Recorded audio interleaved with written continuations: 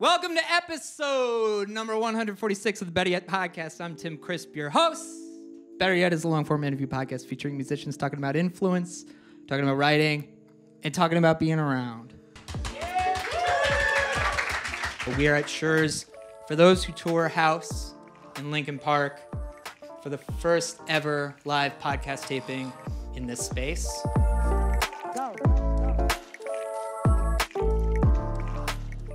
It's about kind of the effects of touring a bunch and um, the things that you realize and like falling in and out of love with music and the experience. You know, one day I checked Spotify and I checked it and I was like, oh, wow, this has a lot of plays.